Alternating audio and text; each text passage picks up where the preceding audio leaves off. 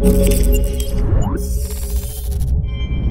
what's going on guys? Arekkz here and welcome back to another Division video. And in today's video, I wanted to put together six tips to help you guys survive in survival. And the reason for that is because in my streams, in my videos, I've been getting a lot of questions with regards to, you know, what's the best way to play survival? How do you get your mask so quickly? Where do you find the best materials? How do you deal with the hunters? Does everyone need to get antivirals? Anything like that. All those questions I'm going to aim to answer in this video. So if you guys do enjoy this and you do find it helpful, then a like would be super appreciated. Comment down below if you have any questions. But to begin with, just before we dive into the points, it is worth noting that there are multiple ways you can play survival. You can play it slow and steady, wins the race, you can gear up at your own pace, you can work your way into the dark zone very gradually, and then make it so that when you get to the final point, the final encounter, you are very well geared.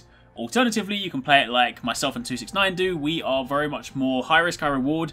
We play survival quickly, with the intention of getting into the dark zone first or as quickly as possible, and it then means that a lot of our encounters late game tend to be with lower quality gear, and while that is a risk, what it also allows you to do is separate yourself from the pack and give yourself a lot more breathing space so you don't have to worry about dealing with players and also NPCs. It is worth noting we always do all of our survival stuff in PvP, so this does work in PvP servers, and all of these tips also work solo and as a group. It goes without saying that in a group it's easier because someone has your back, but this is still definitely possible solo.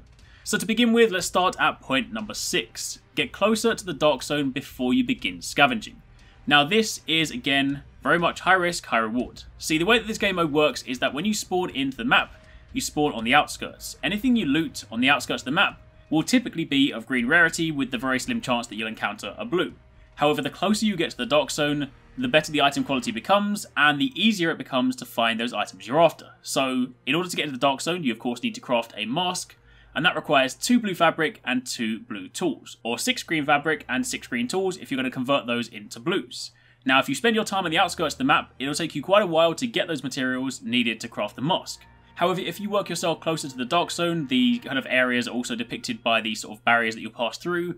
Once you get into the closer sort of inner ring, Anytime you loot stuff, it will invariably be either blue and green, or sometimes just blue altogether. You'll get to the point where some toolboxes will give you two or three blues as opposed to, say, two or three greens, which is infinitely faster because if you can open one toolbox and you've already got the tools you need, and open one fabric box and you've already got the fabrics you need, then it's going to be very quick to go from point A to point B and get in the dark zone. However, what this does then require you do is bypass a lot of stuff at the very beginning of the game.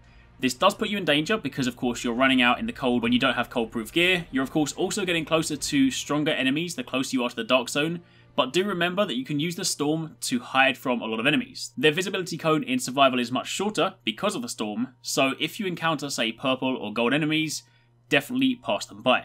Because when you're running the strategy, it does of course mean that a lot of the time you'll be in green gear with a pistol, maybe a weapon if you've been lucky, so you are definitely going to need to pick your battles, but it is definitely possible to work your way past a lot of enemies, get very close to the dark zone, loot your items, and then get in extremely quickly. We are normally, on average, in the dark zone, probably about 10-15 minutes into a survival match, so it's very, very quick this way, provided you can stay alive. That then moves me nicely on to the second point, point number 5, notable locations. Now again, one of the things about this game mode is map knowledge, and while there are a multitude of locations you can use to gather items, things worth noting are as follows. Items like tools are typically found, say, at car parks or construction sites. Items like fabric can very easily be found in clothes stores, so when you're walking around and you're getting closer to the dark zone, pay attention for the types of stores you're passing because they will typically have the items you need. If you find a clothes store that is very close to the dark zone, one simple cardboard box will typically be what you need. And again, while these are by no means the only locations, a few of the ones that we use are as follows. There is a collection of buildings very near the Chelsea area that are interconnected and have a decent amount of items. These are, however, borderline outskirts, so you're not necessarily going to get the greatest materials here, but as you work further in, to the north of the garment district, there are a lot of clothes stores there, so there are lots of fabric boxes, great for getting your blue fabrics, and that is also very, very close to the dark zone. And on the east side of the map, just northwest of Kips Bay, there is also a collection of buildings, once again, interconnected. The buildings that have multiple floors are great because they typically house lots of loot boxes, lots of different types of loot, and of course if you can then cycle between a few of them, A, you're outside the cold, and B, you can normally find by the time you run through these houses, you've got everything you need, especially if you're running solo, you don't have to share your loot. Then it's very easy to gear up in, say, one, maybe two locations.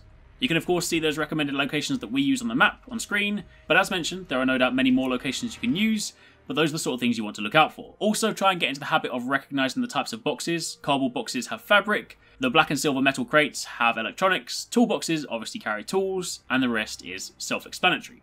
Moving on to number four, use your consumables. This one is a pretty obvious tip, given that you want to try and, you know, keep your virus at bay. However, one of the more important things, above all else, is actually your hunger and your thirst. Hunger is of course tied to health regeneration, so if you don't have med packs and you don't have a heal skill early on, then having energy bars and canned food means that you can regenerate your health out of combat. So that's going to be very, very useful if you are, say, suffering from the cold, if you just come out of a battle and you need a means to heal, then eating canned food and energy bars will definitely help you out. And as for thirst, this is quite possibly the most important one during the scavenging phase. If you've had a drink and you've got the buff on your screen, then you can actually see lootable objects through walls. So if you're looking for things like toolboxes, fabric boxes, electronics boxes, anything like that, then you can see the kind of orange squares through walls, which means, of course, you then know instantly that there's something there to loot. So definitely keep these topped up, but of course, on top of that, make sure you keep your virus at bay. Then moving on to number three, craft an advanced virus filter. I didn't used to do this up until recently. I would just craft the bare minimum and then dive in the dark zone. However, advanced virus filters allow you to enter contaminated areas inside the dark zone, and these are very, very useful. While sometimes they do house bosses, and sometimes, you know, if you're playing on your own, you might want to think twice about engaging them. What they also play host to are Division Tech boxes. And while everyone will encounter at least one piece of Division Tech when they collect their antivirals, if you can get large quantities of Division Tech, it then means that you can convert those into any high-end material you like. So if you're in the crafting bench and you want to make a weapon, you can turn it into weapon parts, you want to make some gear, you can turn it into fabric, and of course also a lot of those Dark Zone items need D-Tech anyway, so those kind of long black boxes, they are where you'll find your division tech, and they are normally located in contaminated areas, so if you don't have an advanced virus filter, then you're going to die trying to go inside there. Also, additional tip, especially if you're playing solo, if you have one of these and say you're being chased down by players, running into a contaminated area is not only a good way to kind of shortcut your way through the map, but also if they don't have those filters and they run in, they're either going to die or they're then going to run in and realize they can't follow you, and you're then going to be able to escape. Next up, number two, not everybody needs antivirals. So this is a question I've had quite a bit. If you're playing as a team, the antivirals marked on the map, you have one per player. You only, technically speaking, need one, because one of them gives you Division Tech, and that is then used to craft your flare gun, and then provided one person in your team calls in a helicopter, everyone can use it. It is still of value to try and go and get them, because for every single objective you complete in a survival match, you get more points at the end, and more points leads to more rewards, and in turn, more loot. So if you are capable and your antivirals are in decent places, it is worth, you know, getting them all for everyone in your team and crafting all the flare guns. But it's also important to realize that sometimes they are in rather tricky situations or kind of places where maybe they're guarded by gold tier bosses and you just really don't want to fight them, so sometimes it is actually better off to leave them. It's also worth noting that if one person on your team collects the antivirals, which is actually just Division Tech, provided everyone else in your team is in proximity, they can also get Division Tech from this box, which means even if you don't get your antivirals, you're also able to craft your flare gun without them, which is really important because the flare gun is also an objective in survival, so even if you skip your antivirals but craft the flare gun, you're still going to get more points. And if you don't want to do that, then you can again use that D-Tech to craft something else.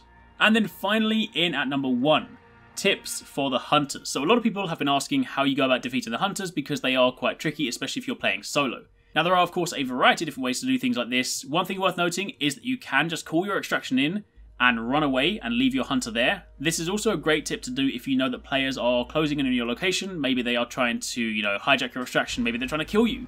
If you call an extraction, then the second you call it in, a hunter will appear for every person in your group. So if you have a group of four, there will be four hunters. If you're running solo, there will be one. So if there was someone at your extraction trying to, you know, take you out, then you could always call it in, let your hunter deal with them, and then run away. Because the important thing to realize is that the hunter, once it's been killed, will not spawn again. So what you can do is take your hunter out or have someone else take your hunter out for you, go to a completely different extraction point, and when you call the helicopter in again, they won't respawn, which is useful. Not entirely sure whether that's intentional, but that is a strategy you can do if you're running solo. However, when you do want to fight them, one of the best extraction points to go to is actually DZ02. And the reason for that is if you go to the top of the car park, you call your extraction in, and you then run down the ramp, go right, and go to the staircase, this is a very good place to engage hunters. It is a bit risky because, of course, in a confined space like that, if they throw in explosives or they hack something like a seeker mine and it comes back to you, then the tight and closed space does mean that there's a good chance they will mess you up. But the nice thing about this is that if you have something like Pulse, or you can just sort of see them coming in, then when they come through the doorway, you're in a very good position to throw a grenade, stun them, and burst them down. See, the good thing about Hunters is they don't have shields, they only have regular health, so they're much more akin to players. So they can die quite quickly, provided you can burst them down. So the nice thing about fighting this staircase, if you're fighting as a group, it of course means that you can, you know, separate yourselves, crawl down the stairs if someone gets down, and then get yourself up, or get them up. But it also means, as mentioned, that because you're in a confined space, it is very easy to stun or trip or shock a hunter, which then gives you the necessary time to burn them down. I would recommend if you're playing solo to try and craft a high-end weapon. If you're playing as a team, you can get away with, say, blue, maybe purple weapons. If you are playing solo, high-end weapons do a lot of damage. The G36 is a very good weapon to get. It is a monster in survival, and it's also just a kind of an easy way to take down hunters. So if you have that and you're running solo, then in this corridor, if you get them pinned down, then you can burn through them really quickly. Again, there are of course many other extraction points, you can kind of go to those ones if you please, but I personally don't like Bryant Park. It is very open, there are too many boxes, too many cover points, very easy for people to flank you, especially other players. The one at DZ05 in the middle of the road is not too bad, but because it's at a crossroad, there are again many different angles people can come from, and of course the further north you go, the one in DZ06 has gold tier enemies, so again, they're a little bit tricky. So DZ02 is by far one of the easiest ways to take out your hunter, especially if you're playing solo. And that, my friends, is pretty much it. Those were six tips that will hopefully help you guys survive in survival. Again, if you have any questions, drop them down below. And also remember that this is not by any means the only way to play the game. As mentioned, you can play it slowly, you can play it steadily, you can gear up at your own pace, however you like. But this is the way that we do it, this is the way that I have seen most success personally, so that is what I thought I'd share. Anyway, Thank you for watching, take it easy, catch you next time, peace out.